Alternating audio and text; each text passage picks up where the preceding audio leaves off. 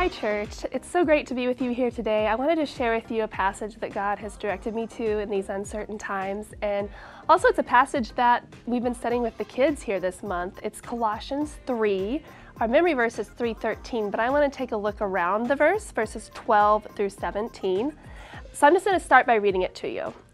Put on then, as God's chosen ones, holy and beloved, compassionate hearts, kindness, humility, meekness, and patience bearing with one another, and if one has a complaint against another, forgiving each other, as the Lord has forgiven you, so you also must forgive. And above all these, put on love, which binds everything together in perfect harmony.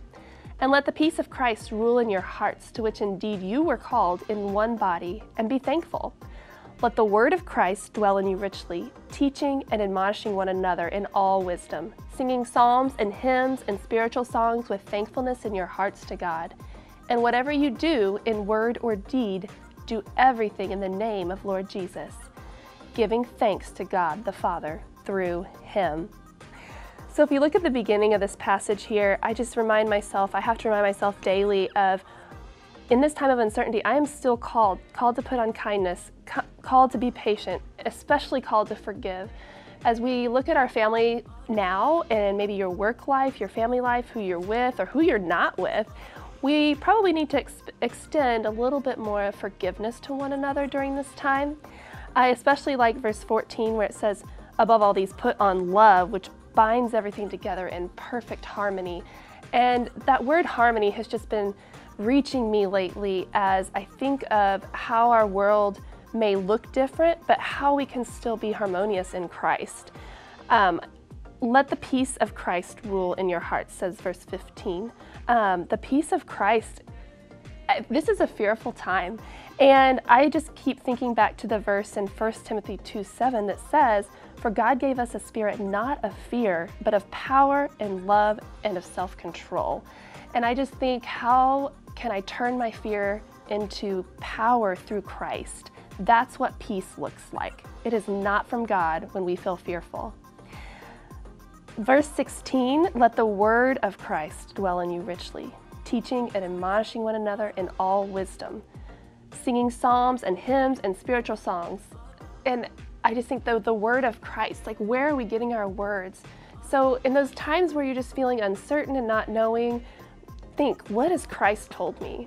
What is my identity in Him? And how can I turn to Him right now rather than feeling fear or feeling down about our times and worrying about tomorrow? Um, also, I know that for myself, I'm wondering how can I teach others right now? How can I admonish and lift up one another? We are in a time that we have so many resources at our fingertips for communication through the internet, like I am sharing with you here. Um, I also think the same about singing songs. You know, when it's feeling weird, when, whether you're at work right now or at home, turn on some praise music. There are so many outlets to do so, and I really believe that God will bless you when we just turn to Him and praise Him. Um, the last part here says, and whatever you do in word or deed, do everything in the name of the Lord Jesus. If you think right now, back to two or three weeks ago, what you were doing, it probably looks very different than what you're doing right now. You're not in school, you may be working more, you may be working less, your business may look very different. But whatever we use our words, use those words giving thanks to God and use those words, say, would, would I say this in the name of the Lord Jesus? And then our deeds, our actions, stop ourselves and ask, what, what would the Lord have me to do at this time? I don't know if you noticed, but Three times throughout this passage it says, give thanks. Thankful to Him, give thanks. And I don't know about you, but in my prayer journal, I have a section for what I'm thankful for.